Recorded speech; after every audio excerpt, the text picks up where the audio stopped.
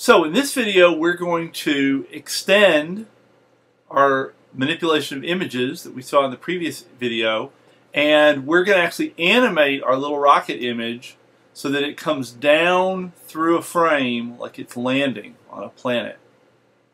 And this is again all taken from the prologue of the second edition of How to Design Programs. So the first thing we have to do is we have to once again require the image library uh, that we saw earlier, and that allows us to manipulate these little images. And then we also have to create an empty scene. Empty scene is a function that comes with the image library, and it basically gives us a little frame that our picture, or in this case our movie, can live in.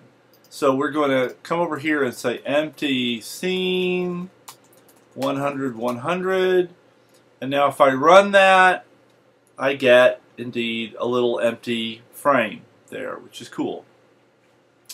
And now we can place an image in that by using the place image function.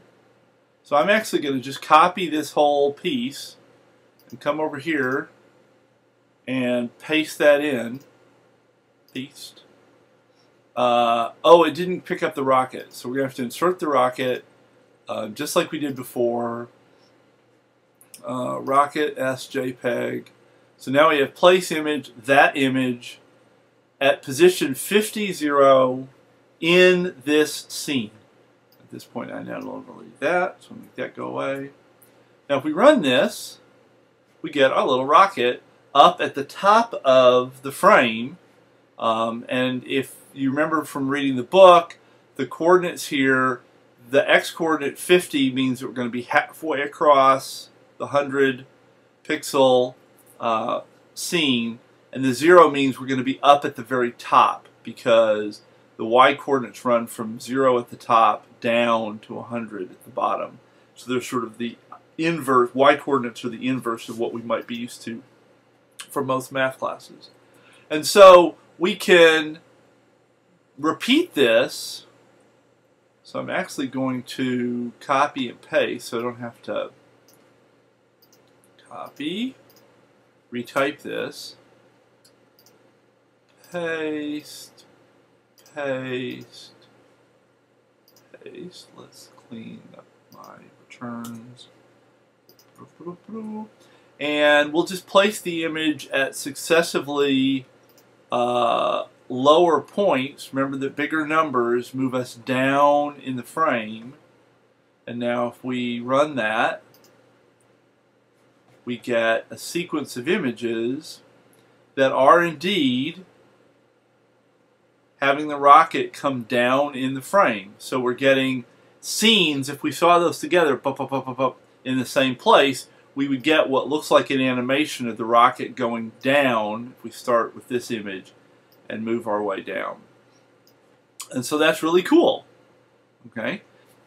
A really crucial observation here is notice that I got these four lines by copying and pasting. If you find yourself copying and pasting code, that is almost always a bad sign because you're duplicating logic. And one of the cardinal rules in computer science is you don't want to duplicate logic if you can help it. There's even an acronym for this, DRY, DRY, stands for don't repeat yourself. And so if you read things about software development online, people will often talk about the dry principle. And we are violating the dry principle here. We have repeated ourselves three, four times. We've repeated the image and the empty scene part. Um, and what's changed, we've even repeated the 50. And all that's changed in these four lines is the number here. And so one of the primary tools we have in Racket for drying up our code, eliminating this kind of duplication, is functions. Functions allow us to avoid this kind of duplication. So we are going to use a function to capture what's the same in each of these four cases, but use an argument to the function to capture what's different. So a common technique is to look at what's the same and look at what's different and take the bit that changes and make it an argument and have the rest all just be the body of the function. So we'll say define, create, oops, can't spell, rocket scene, and what changes here is the height. It's 0, then it's 10, then it's 20, then it's 30. So that's a reasonable name for our argument. We'll say that our function, create rocket scene, takes a single argument height, which tells us how high up we want it to be, and the body of that function is basically going to be one of these guys. So I'm going to say copy and paste. But I don't want it to always be at height 0. I want it to be at the specified height. So I'm going to change the 0 to height. And now this function gives us this expression with height being the parameter that was given to the function. If we call create rocket scene with 0, we'll get this instance. If we call it with 10, we'll get this instance. The 10 will go here we call it with 20, we'll get this instance. We call it with 30, we'll get this instance.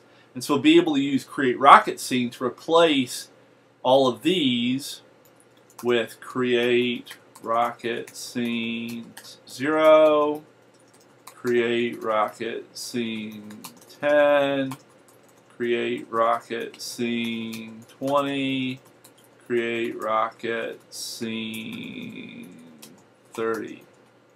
So if we get rid of these guys, boom, and run. Hey, we got our images again. But now we have much cleaner code because we haven't repeated all of this over and over again. We simply called create rocket scene four times. And so that gets us nearly to an animation. And one way that we can see that we would like to do a little more cleaning is that this actually looks pretty repetitive too. I was pretty tempted to copy paste and then just change the numbers because typing all of this four times was kind of a nuisance. Well, it turns out there is an animate function in another library called Universe. So we'll acquire 2htdp slash universe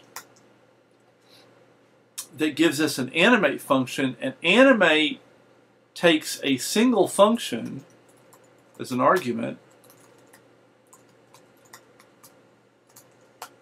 and calls this function over and over again with different values that are connected to the timer that's running inside of Animate, and it can be used to create animations. So if we, so we'll get rid of these guys and run. Look at that. The rocket dropped right through the bottom of the world and disappeared because the animator is still running and it's moving the rocket farther and farther down. And so the rocket, since it's not visible in the window, it's still moving, but it's uh, outside the frame that we can see. So if I quit that, one way that we can see that it's still running behind the scenes is to make a bigger scene.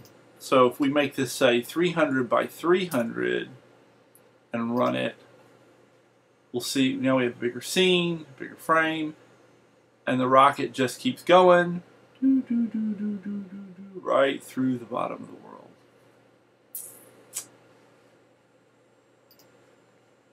Awesome. And so animate takes a function and calls that function over and over again with different numbers that are basically the, the time units. Um, and so it calls it with 0 at the beginning and then it calls it with you know, 5 and 10 and 20 and so we've seen a couple of important things in this video. One, we've seen how to use functions as ways of drying up our code, removing duplication. Um, and that's going to be really, really important, probably one of the most important uh, concepts in the entire course. And we've seen that we can make cool little movies. I mean, it's nothing really exciting, but uh, it's something we didn't know how to do yesterday. So it's pretty neat that we can make these little movies, and obviously that was only with a few minutes work and a few lines of code. With some effort, we could make fairly interesting movies, and that's pretty slick. So I'm going to save my code. Save. Uh, simple rocket anim, animation.rkt. Remember, .rkt for the extension on our files. Save. And that wraps it up. Thanks a lot. Bye bye.